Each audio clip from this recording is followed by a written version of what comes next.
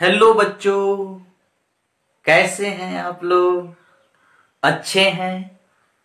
तो आज का लेक्चर है कि एक्सटेंडेड ऑब्जेक्ट का इमेज कैसे बनाते हैं।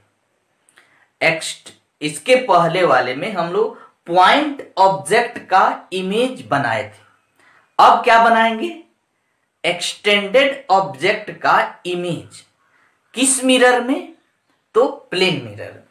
यानी प्लेन मिरर में एक्सटेंडेड ऑब्जेक्ट का इमेज तो चलिए स्टार्ट करते हैं। एक्सटेंडेड ऑब्जेक्ट जो होते हैं, उसके इमेज कैसे बनते हैं? एक्सटेंडेड ऑब्जेक्ट तो ऑलरेडी जानते हैं। एक्सटेंडेड इसको एक्सटेंडेड बोलेंगे। बड़ा हो क्या? सन क्या है? एक्सटेंडेड ऑब्जेक्ट है। और पॉइंट ऑब्जेक्ट के बारे में तो जान चुके हैं। Extended ऑब्जेक्ट का इमेज एक्सटेंडेड ऑब्जेक्ट का इमेज प्लेन मिरर में. यह प्लेन मिरर है और इस प्लेन मिरर का यह सरफेस पेंटिंग है। और प्लेन मिरर में कौन ऑब्जेक्ट रखें?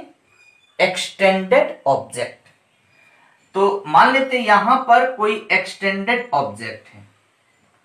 इसका नाम दे देते हैं ए बी ए बी जो है, वह एक्सटेंडेड ऑब्जेक्ट है।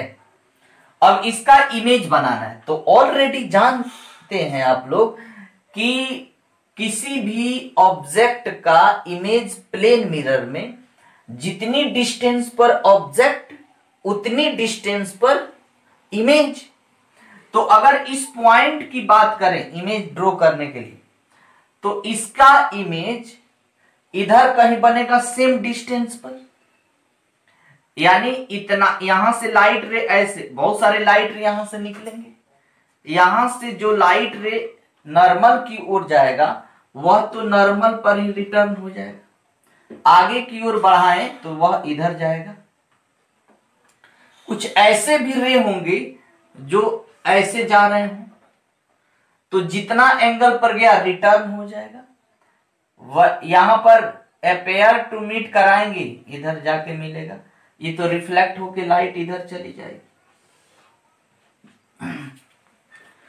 तो इस पॉइंट का इमेज यहाँ पर बना। जितना डिस्टेंस पर है, उतना ही डिस्टेंस पर बन। उसी तरह इस पॉइंट से जो लाइट रे चलेंगी, कुछ ऐसे लाइट चलेगी। तो अगर यह नॉर्मल है, इस प्लेन मिरर के अकॉर्डिंग अगर यह नॉर्मल है, इस पर नॉर्मल तो तो यह तो इसी पर रिटर्न हो जाएगा। अपेयर करेंगे, इसको काल्पनिक रूप से आगे बढ़ाएँगे तो इधर जाएगा, ये तो इधर चला जाएगा। कुछ ऐसे भी रे होंगे जो इधर जा रहे होंगे रिफ्लेक्ट करेंगे, जाके मिलेंगे। ऐसे भी लाइट होंगे रिफ्लेक्ट करेंगे, जाके यहाँ मिलेगा। तो इसका इमेज यहाँ बना। ये तो रिफ्लेक्ट करके इधर चला गया।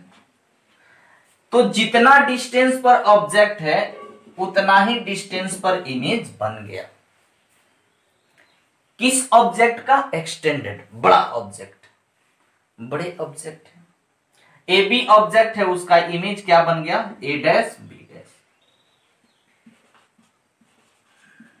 ध्यान दीजिए। सेम डिस्टेंस पर बना है सेम साइज़ का बना है। हम लोग बहुत तरह से बना सकते हैं, रे डायग्राम खींच के हम लोग बहुत तरह से बना सकते हैं। इसी में एक और आता है कि अगर यह प्लेन मिरर है यहाँ पर कोई ऑब्जेक्ट रखा हुआ है। यहाँ पर कोई ऑब्जेक्ट रखा हुआ है। ए बी इसकी इमेज ड्रॉ करनी है इसमें। तो तो पहले ही जान चुके हैं कि प्लेन मिरर में जो इमेज बनता है प्लेन मिरर में जो इमेज बनता है, वह हर एक जो इसकी रूल है, जितना डिस्टेंस पर ऑब्जेक्ट उतना ही डिस्टेंस पर इमेज वो फ्लो करेगा। चाहे वो कोई ऑब्जेक्ट हो। यह इतना डिस्टेंस पर है तो इसका इमेज अगर इधर हम ड्रॉ करें तो इधर उतना ही डिस्टेंस पर बनेगा। इस पॉइंट का हम अगर इमेज ड्रॉ करें तो इधर उतना ही डिस्टेंस पर बनेगा। जितना डिस्टेंस पर ऑब्जेक्ट उतना डिस्टेंस पर इमेज यहाँ। हाँ तो रे डायग्राम खींच लीजिए। अब तो जान गए इस पॉइंट का। हाँ अब इसका बाउंड्री पता चल गया तो रे को भेजिए मीट कराइए। इमेज बन जाएगा। यहाँ से जो लाइट ऐसे चलेंगे रिफ्लेक्ट हो जाएँगे वर्चुअल रूप से मिलाएँगे। इधर जाके मिले इसमें भी कुछ ऐसे रे होंगे, ऐसे गए। ये तो रिफ्लेक्ट कर गए। वर्चुअल रूप से मिलाए यहाँ। यानी इमेज बन गया यहाँ। अब देखिए। ए बी ऑब्जेक्ट है, इसका इमेज बन गया ए डैश बी डैश कैसे बना है? देखिएगा, इसमें दिख क्या रहा है? यह लेफ़्ट से राइट की ओर। लेफ़्ट से राइट की ओर झुका हुआ है। और जो इमेज झुका है, वह राइट से लेफ़्ट की ओर झुका हुआ यानी इसमें पार्श परिवर्तन की घटना हो रही लेटरली इन्वर्टेड इन नेचर इसमें जो घटना हो रही है, वह एक पार्श परिवर्तन की हो रही यानी अगर प्लेन मिरर के सामने अगर हम लोग आए तो उसमें जो इमेज बनेगा, अगर हम मिरर की ओर झुके तो उसमें जो हमारा इमेज बनेगा, वह हमारे तरफ़ झुकेगा। यानी उस, हम झुकेंगे इधर वो लगेगा कि इधर से झुका है। डुप्लीकेट इमेज इमेज तो इमेज जो बना तो प्लेन मिरर में इमेज जो बने हैं, उसकी क्या इसमें कैसे कैसे बने हैं? तो यह बना है, काल्पनिक बना है, सीधा बना है। जितना दूरी पर वस्तु है, प्रतिबिंब उतना ही दूरी पर है। सेम साइज़ है, इसकी आकार बराबर है और लेटरली इन्वर्टेड इन नेचर की है। यानी क्या लिख सकते हैं कि जो इमेज बना है, वह सेम साइज़ और कैसे है? वर्चुअल है और इरेक्ट नेचर का है। यानी virtual and erect nature of image जो इमेज बना है, वह कैसा बना है? काल्पनिक और सीधा बना है। Same size size of image इसकी साइज़ क्या है? सेम है। सेम डिस्टेंस पर बना है। Same distance of image distance same है। और क्या है? Laterally inverted in nature laterally inverted in nature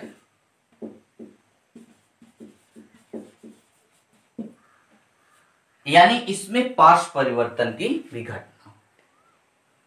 यानी प्लेन मिरर में ये सब कंडीशन होते हैं हर एक ऑब्जेक्ट के लिए।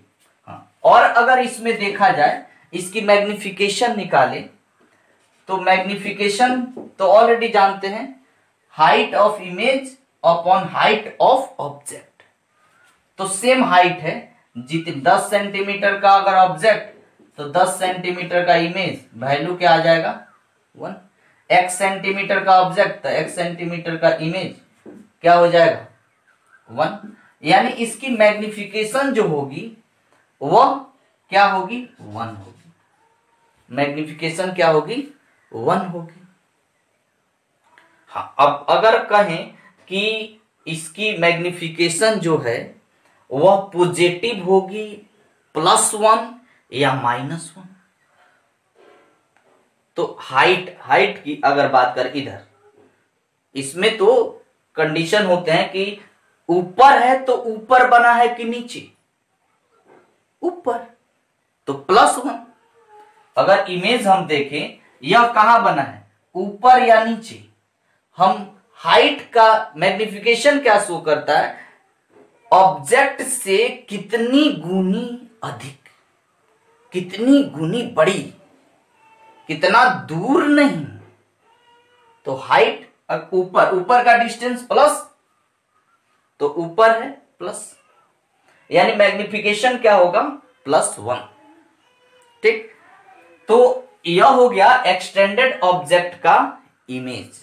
कैसे बनते हैं? क्या? मिटा दे। नोट कर लीजिए। मिटा दे।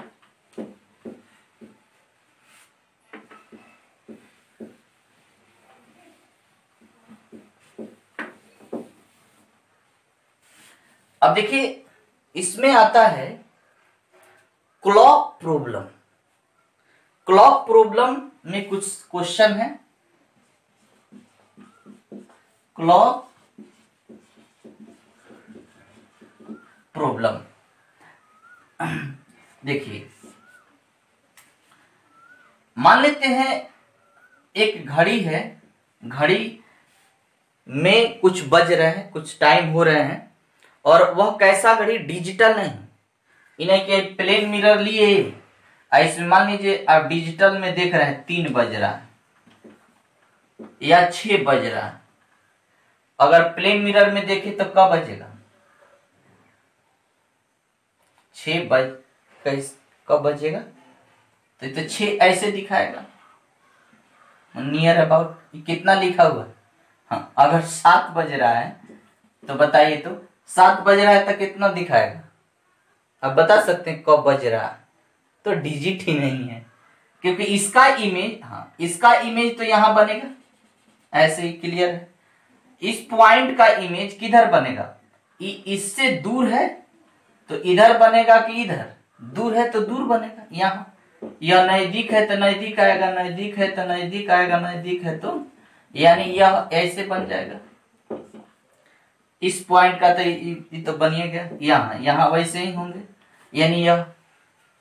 अब बताइए, सात एफ़ बच जाएगा। एफ़ कौन टाइम है?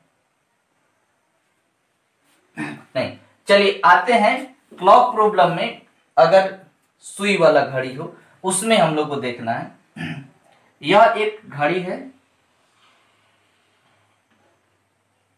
यहाँ पर प्लेन मिरर रखा हुआ है। इस प्लेन मिरर में देखकर बताना है कि इसमें कितना टाइम हो रहा है।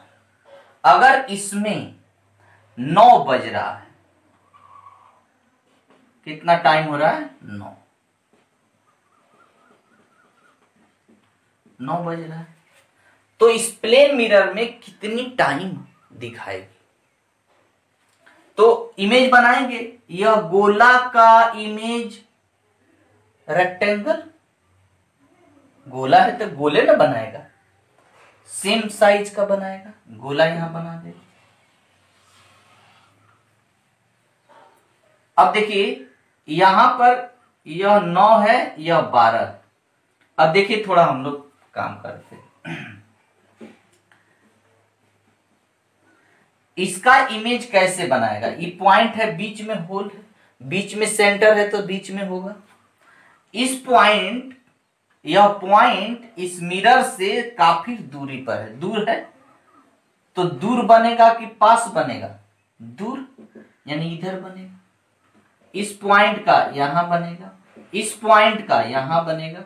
इस पॉइंट का यहाँ बनेगा और इस पॉइंट का यहाँ। यानी इसका इमेज यहाँ बनेगा। इस डायरेक्शन में है, इस डायरेक्शन में बनेगा। लेटरली इन्वर्टेड इन नेचर हाँ यह स्ट्रेट है तो स्ट्रेट बने अब देखिए, कितना बज गया? यह नौ बज रहा है, बज गया तीन। यानी नौ बजे को प्लेन मिरर में अगर देखें तो वह तीन बजे दिखा देगा। नौ बजे को अगर हम लोग देखें तो वह कितना दिखा देगा? तीन। तो क्वेश्चन एक दे रहा है, बनाइएगा। अगर आपका तीन बज के तीस मिनट चालीस सेकंड हुए हैं तो बताना है, प्लेन मिरर में, प्लेन मिरर में कितना बज के कितना मिनट और कितना सेकंड दिखाएगा। देखा जाए तो। सॉल्व कीजिए। करें? देखिए।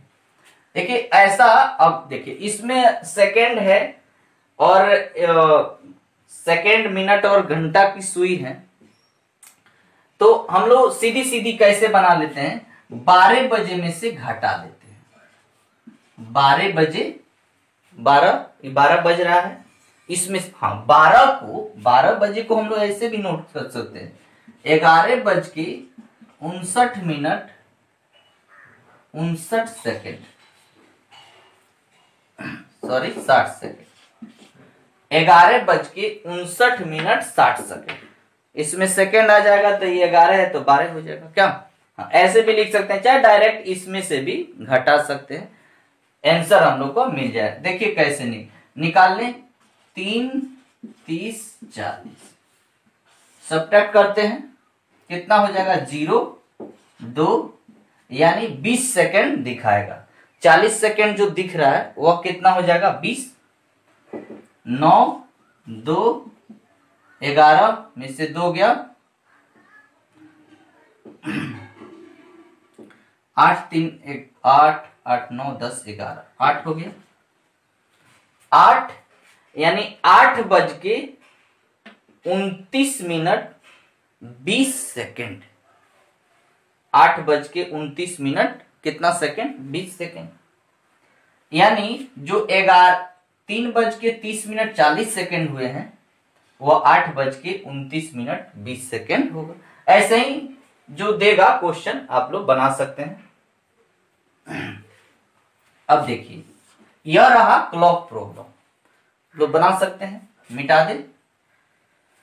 अब इन हम लोग को देखना है कि प्लेन मिरर का ही एक्सटेंडेड ऑब्जेक्ट का ही, कि द ऑब्जर्वर ऑब्जर्विंग हिमसेल्फ यदि ऑब्जर्वर खुद अपने को अगर प्लेन मिरर में ऑब्ज़र्व कर रहा हो तो उसकी पूरी इमेज किसी मिरर में देखना है तो मिरर की मिनिमम साइज़ क्या होनी चाहिए? यानी कम से कम साइज़ क्या होगा कि वह व्यक्ति, वह बॉडी अपने को जब खुद खुद लोकेट कर रहा हो, तब की बात कर रहे हैं। अपने को खुद प्लेन मिरर है, इसमें अपने को देखना चाहता है तो माने इतना बड़ा मिरर में हम तो पूरे अपने बॉडी को नहीं देख सकते। हाँ अगर मान लीजिए हम छह फीट के हैं तो कितना फीट की मिरर होनी चाहिए? तो ये तो ऑलरेडी आप लोग जान चुके हैं कि मिरर की साइज़ जो होनी चाहिए ऑब्जेक्ट की साइज़ की हाफ़ होनी चाहिए। तो हाफ़ साइज़ का मतलब छ है तो तीन फीट होगा। लेकिन हम लोग क्वेश्चन के रूप में इसको एक्सप्लेन करके बनाएँगे। तो क्वेश्चन क्या है? मिटा दें।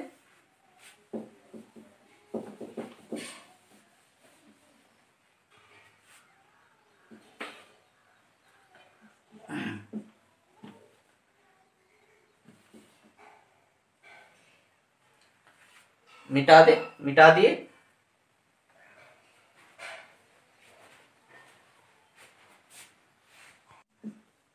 A body of height h. Want to see his full image in plane mirror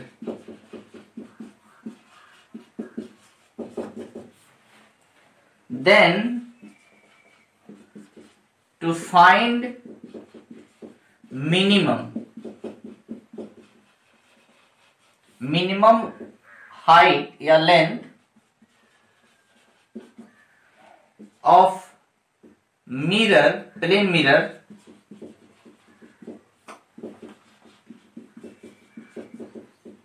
required. To, then to find minimum length of, minimum length या height of plane mirror required यानी question जो दिया है कि एक बॉडी है जिसकी height है एच और उस बॉडी के, उस बॉडी जो, वह बॉडी जो है प्लेन मिरर के सामने है। तो क्या बताना है कि कम से कम कितनी लेंथ हो कि वह सर से लेके पैर तक, माथे से लेके चरण तक अपना इमेज देख सके। क्या? तो ध्यान दीजिएगा। ड्रॉ करते हैं हम लोग। मान लेते हैं यह ऑब्जेक्ट है। इसकी हाइट जो है एच है। पहले से दे रखा है। और इस हाइट यह ऑब्जेक्ट है एच हाइट का है। यह चाहता है, बहुत इसको है कि हम अपना इमेज एक बार में पूरा का पूरा देखें। पूरा का पूरा देखें। तो सबसे पहले हम क्या लेते हैं? इसी हाइट का एक मिरर ले लेते हैं। इसी हाइट का क्या ले लेते हैं? मिरर यहाँ एक मिरर ले लेते हैं। इसी हाइट का ले लिए। या इससे बड़ा भी ले सकते हैं।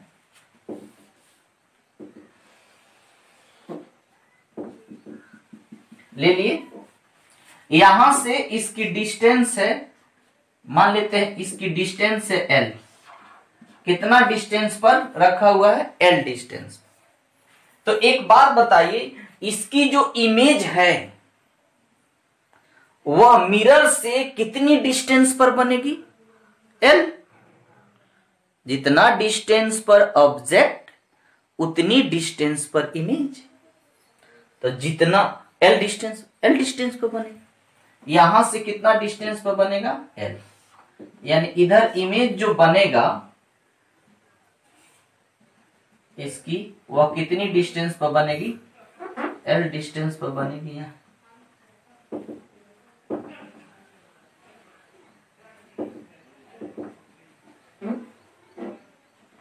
इधर बनेगा। हाँ अब देखिए। अब कैसे बनेगा रे डायग्राम खींचेंगे? बनेगा तो वही लेकिन रे डायग्राम खींचेंगे। यह हो गया इसका हेड, यहाँ हो गया इसका आई, यहाँ हो गया इसका फुट, पैर हो गया। यहाँ जो इमेज बनेगा, इसमें वही होगा, इधर पैर होगा। यहाँ हेड बनेगा, यहाँ इसकी आई बनेगी फुट बनेगा। डैश में लिख देते हैं। देखिए कैसे बनेगा। अगर इसकी माथे का इमेज देखना है, या अपने माथे को देखना चाहता है तो यहाँ से लाइट यहाँ से लाइट यहाँ से लाइट ट्रेवल करके इस मिरर पर आना चाहिए। अगर यह अपना हेड देखना चाहता है तो यहाँ से लाइट ट्रेवल करे। यहाँ से लाइट ट्रेवल किया। अब रिफ्लेक्ट करके जब नेत्र तक आएगी आँख के पास आएगी तब तो यह अपने सर को देख पाएगा। यानी रिफ्लेक्ट करके रिफ, ऐसे इंसिडेंट हुआ आया रिफ्लेक्ट करके आँख तक आया तो क्या दिखाई दिया? हेड इसके ऊपर मिरर की आवश्यकता है? नहीं है। अब तो हाँ। अगर इस मिरर को और नीचे ला ले तो सर कट जाए। सर कटेगा नहीं उन्हें सर जो है दिखाई नहीं देगा। तो इसका मतलब है कि इधर मिरर रखने की कोई आवश्यकता नहीं है हाँ, अब पैर की बात करते हैं। अगर यहाँ से इसकी फुट है पैर देखना यहाँ से लाइट ट्रेवल किया। अब यह पैर से चलने वाली लाइट रे नेत्र तक आएगी, तब तो अपना पैर को देखेगा। अच्छा एक बात देखिए। पैर से, पैर देखना तो पैर से आना चाहिए। अब यहाँ पर एक, रुक जाइए एक स्टेप यहाँ थोड़ा देख। हेड से चला लाइट रिफ्लेक्ट होके आँख तक आया। अब इसको, आँख को नहीं ना कि यहाँ से दिखाई देगा कहा। इसको लगेगा कि यह लाइट यहाँ से आ रही यहाँ से आ रही यह लाइट यहाँ से, इसका मतलब यह इस नेत्र के पास जो यहाँ से लाइट आया, वह लगेगा कि यहाँ से आ रही है। इसका मतलब यहाँ इसकी सर बना हुआ दिखाई दे देगा। उसी तरह यहाँ फुट से चला। रिफ्लेक्ट होके इसके आँख तक गया। तो इसको लगेगा कि यह यहाँ से आ रहा है। यानी अब वह ऊपर, यानी इधर तो मिरर रखने की आवश्यकता नहीं। है इधर अगर मिरर है तो और नीचे की चीज़ दिखाई देगा, अगर है तो। लेकिन हमको कम से कम लेंथ चाहिए। तो यहाँ से लाइट ट्रेवल किया रिफ्लेक्ट होकर गया वह अपेयर टू मीट कराए, मिला। इधर मिरर की कोई आवश्यकता यानी हमको मिरर इतना ही चाहिए। यानी इसी की लेंथ अगर मिल जाए तो ऑलरेडी लेंथ तो जानबे करते हैं, अगर ऑब्जेक्ट है एच तो इसकी लेंथ एच बाई टू आएगा आंसर क्योंकि पहले ही पता है कि अगर ऑब्जर्वर ऑब्जर्विंग हिमसेल्फ ऑब्जर्वर खुद प्लेन मिरर में अपने को देखता है, अगर पूरा का पूरा देखना चाहता है तो अपने हाइट का हाफ़ लेंथ की अगर मिरर होगी तो पूरा का पूरा देख लेगा। लेकिन देखिए, यहाँ पर हम लोग लाते हैं। इसको ड्रॉ कर लीजिए ऐसे। खींच दिया, यहाँ नॉर्मल हो गया। यह जो है, इस पॉइंट का नाम दे देते हैं ए बी और इस पॉइंट का नाम दे देते हैं सी इस पॉइंट का नाम ए डैश बी डैश और क्या? सी डैश इसका नाम दे दीजिए पी क्यू आर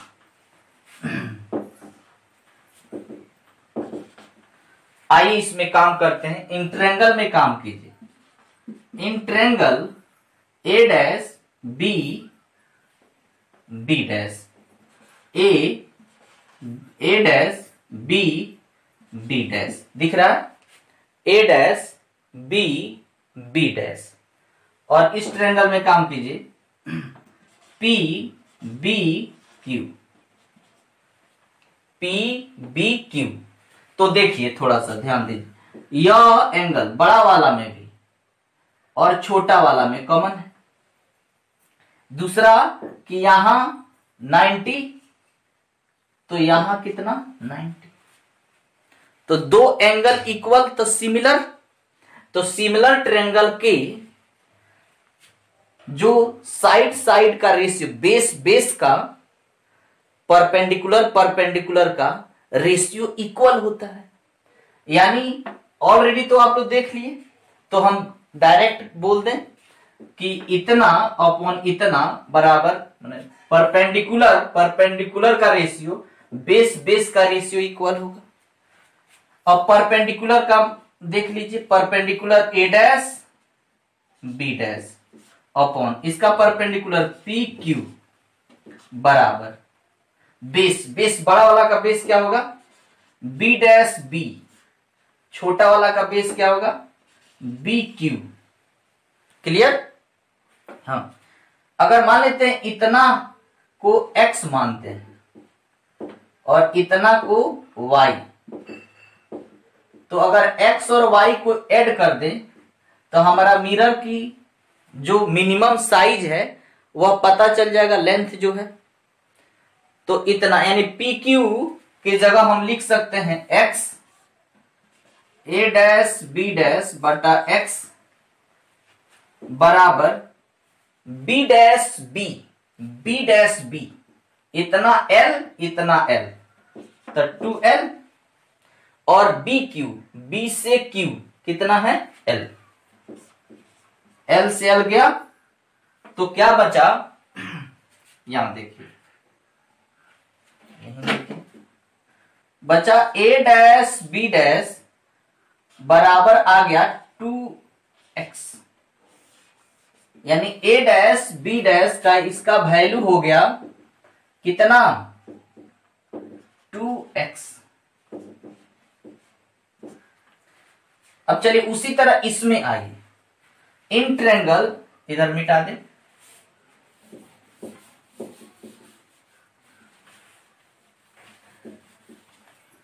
उसी तरह यहाँ, देखिए, इस ट्रेंगल में इन triangle B dash B C dash B dash B C dash and triangle Q B R Q B R में देखिए।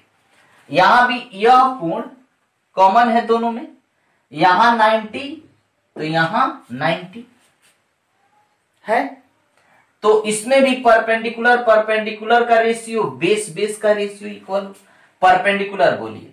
बी डैश सी डैश बटा क्यू आर बराबर base BB dash BB dash बटा B Q B Q B dash C dash बटा Q R Q R Q R Q R Y ना, है?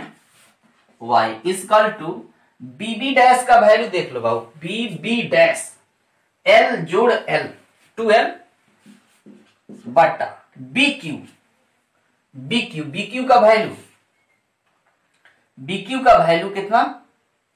L L से L गया B dash C dash का value हो गया टू वाई यानी बी डैश सी का मतलब यह टू वाई तो एक बात बताइए two X plus two Y कर दे तो साइज़ हाइट ऑफ़ इमेज होगा? हाइट ऑफ़ इमेज रिप्रेजेंट कर रहा है two X plus two Y. ये किसके बराबर है? एच। इसी के बराबर नहीं होगा। अच्छा अगर हाइट ऑफ़ मिरर की बात किया जाए तो वह कितना होगा? x plus Y. मिरर की बात कर रहे थे x प्लस वाई। अच्छा चलिए, यहाँ पर ध्यान देना, two X plus two Y बराबर एच है। टू टू कॉमन ले लें तो x प्लस वाई बराबर एच तो हमको अगर x प्लस वाई का वैल्यू चाहिए तो रोक लेते हैं x प्लस वाई बराबर एच बाई यानी x प्लस वाई का वैल्यू कितना आ गया? h बाई टू यानी हाइट कितनी होनी चाहिए? मिरर की ऑब्जेक्ट की आधी. पाँच मीटर का है तो अढ़ाई मीटर की होनी चाहिए। दस का है तो पाँच की होनी चाहिए। क्या? नोट कीजिए। A body standing midway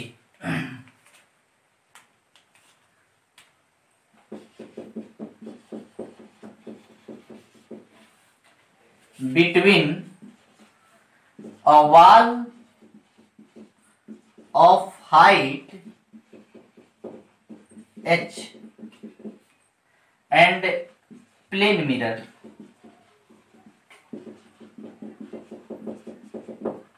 Plane mirror और वॉल के बीच में एक बॉडी है। बीचों बीच में बॉडी है। देन टू फाइंड करना है मिनिमम लेंथ ऑफ़ लेंथ या height of mirror required that can that object या body can see full image of object. अब ऑब्जेक्ट का फुल इमेज बनना चाहिए। क्या? तो एक बॉडी है, वह कहा है? वाल और मिरर के बीचों बीच है। तो उसके लिए जो मिरर की साइज़ क्या हो? सॉरी मिरर में उस वाल को पूरा का पूरा देखना है। कितनी हाइट की है? एच हाइट का वाल है। तो बताना है कम से कम कितनी हाइट की, कितनी साइज़ की मिरर होगी। थोड़ा सा चेंज है।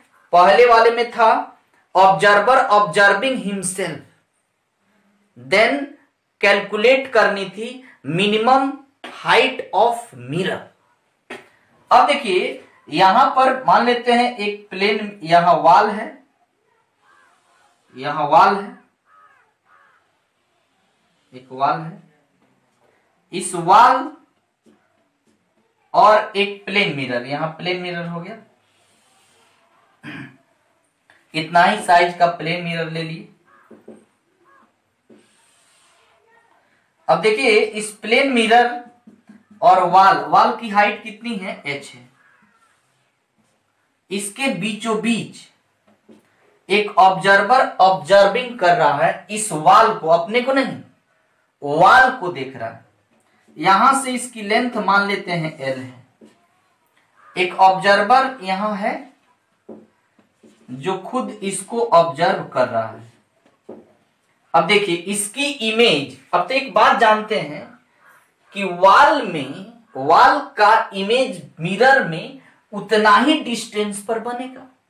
जितना डिस्टेंस पर ऑब्जेक्ट उतनी डिस्टेंस पर इमेज तो यहाँ से उतना ही डिस्टेंस पर इमेज बनेगा। यहाँ से। एल डिस्टेंस पर है तो एल डिस्टेंस पर ड्रॉ कर दे। करेंगे करेंगे।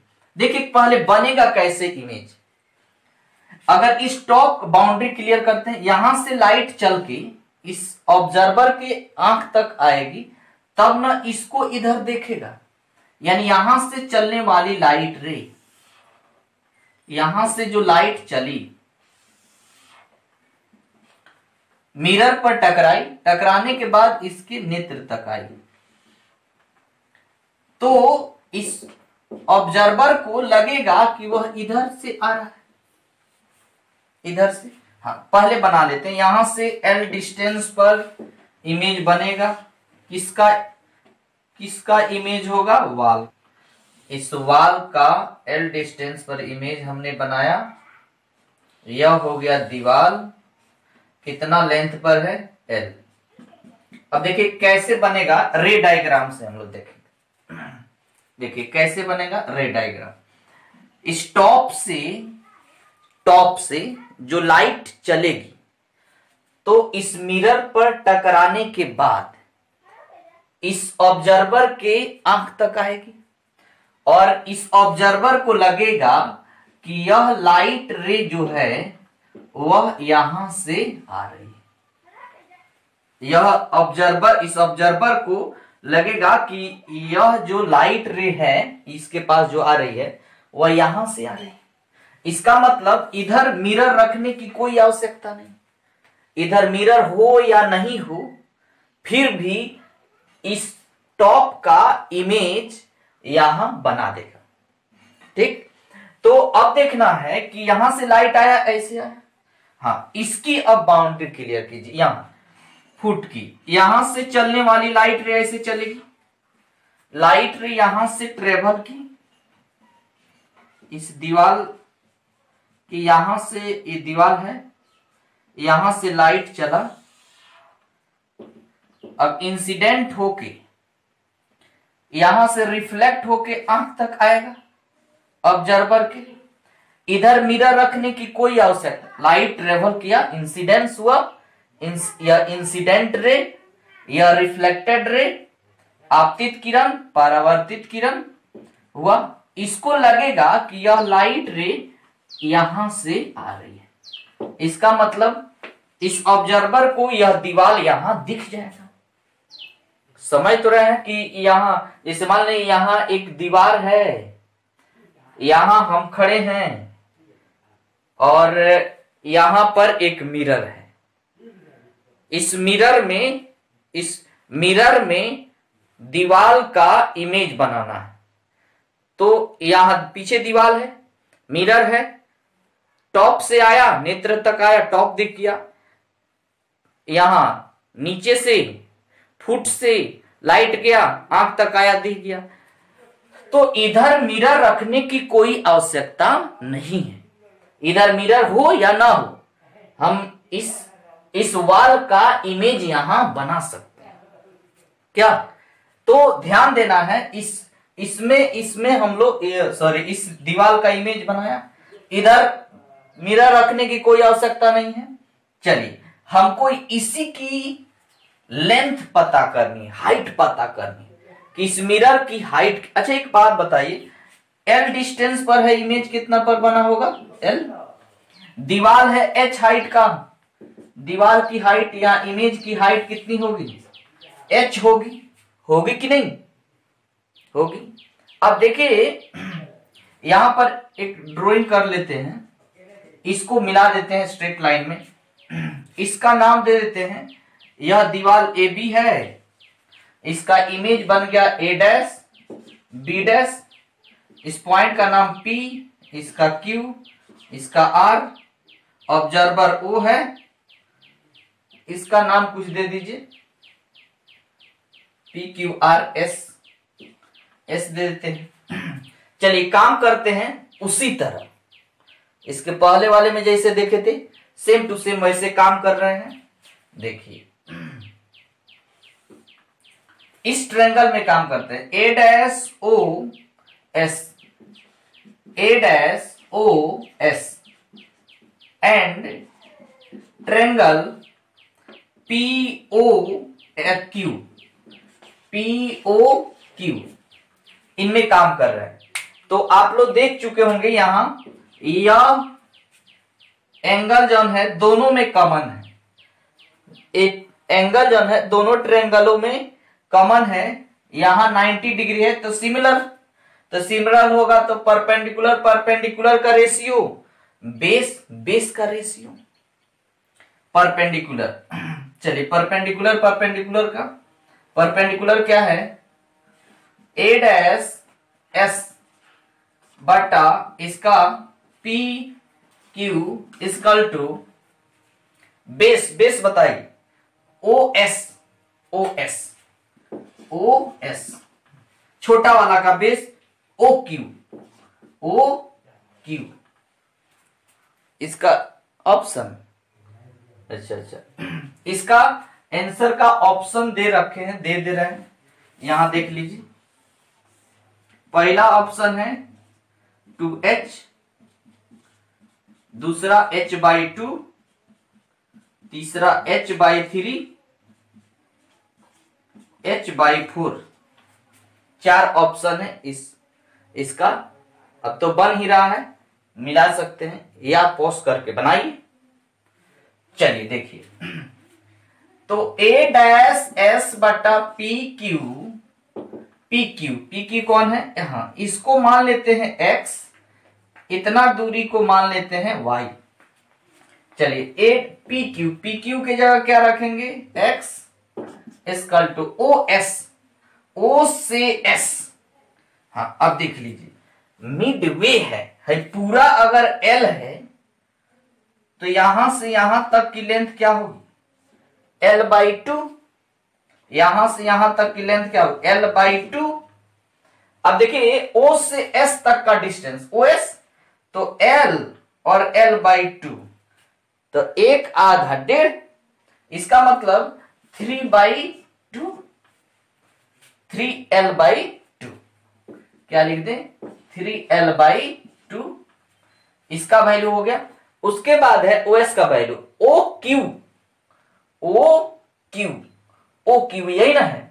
ओ क्यू का मान क्या है? एल बाई टू यानी यहाँ हम लोग बैठा दे एल बाई टू टू से टू एल से एल ए डैश एस बटा एक्स बराबर क्या बच गया? थ्री एक्स को उधर भेजिए. A dash S is equal to three X यानी A dash S A dash S है, ए डैश एस इसका वैल्यू कितना आ गया? थ्री एक्स कितना आ गया? थ्री एक्स अच्छा। उसी तरह इसमें भी काम कीजिए। किसमें? ई e वाला। S O B dash S O B dash and triangle Q O R Q O R में. वही रूल यहाँ ई एंगल तो दोनों में है.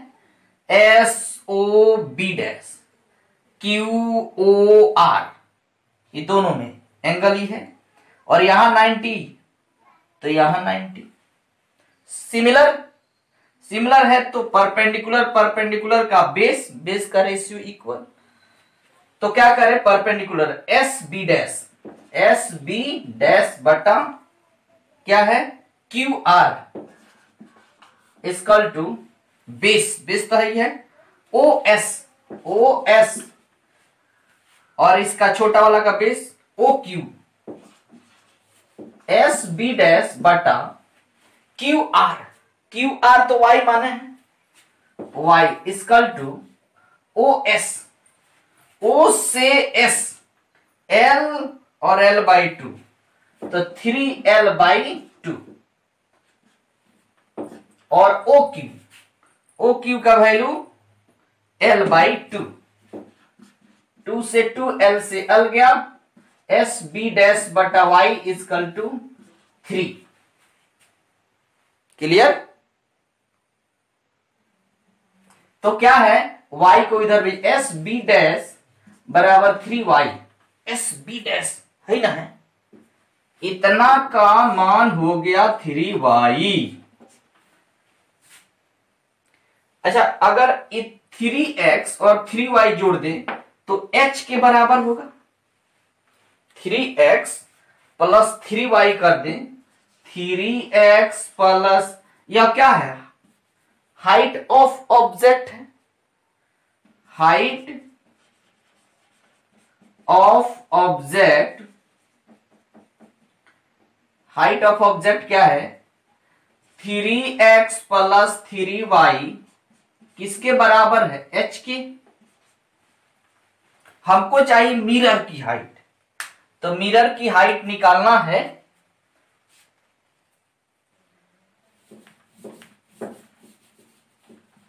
मिरर की हाइट तो मिरर की height X plus Y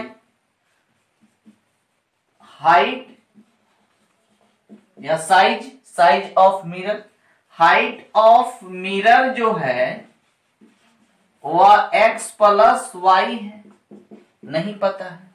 लेकिन हम लोग को क्या पता है? Three X plus three Y बराबर एच थ्री कॉमन ले लीजिए। एक्स प्लस वाई बराबर एच तो एक्स प्लस वाई थ्री उधर भेजिए। एच बाई अच्छा एक्स प्लस वाई ही तो मिरर की हाइट है। यही तो निकालना, कितना आ गया? एच बाई थ्री हाँ एच यहाँ कैपिटल लिख दिए हैं। कैपिटल में होगा सॉरी स्मॉल में होगा, क्योंकि स्मॉल लिए हैं। एच क्या ऑप्शन होगा इसमें?